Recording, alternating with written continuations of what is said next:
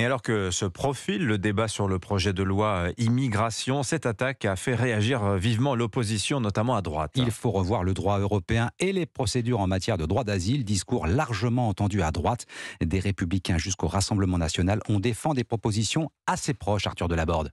Oui, un consensus se dégage à droite autour de la nécessité de réformer les procédures d'asile, à l'image des républicains qui demandent qu'elles soient instruites non plus sur le territoire national, mais dans les représentations diplomatiques à l'étranger, une mesure qui fait partie des réponses à apporter à l'attaque d'Annecy, selon le chef des sénateurs LR, Bruno Retailleau. Il faut impérativement que les demandes de droit d'asile soient faites à l'étranger dans des consulats. Il peut y avoir des dépôts par la voie numérique. Le problème est qu'en France, dès lors qu'un demandeur d'asile met le pied sur le sol français, même quand il est débouté, il est quasiment inexpulsable. Donc euh, il vaut beaucoup mieux euh, prévenir que guérir. Cette proposition n'est pas nouvelle. Lors de la dernière campagne présidentielle, la candidate du Rassemblement national, Marine Le Pen, prévoyait dans son programme une modification du droit d'asile en renvoyant à la loi pour fixer les modalités des demandes et instaurer l'obligation de les déposer dans des ambassades et des consulats à l'étranger. Une idée également défendue par Éric Zemmour, qui est allé encore plus loin en se déclarant en faveur de la suspension du droit d'asile. Arthur Delaborde du service politique d'Europe 1.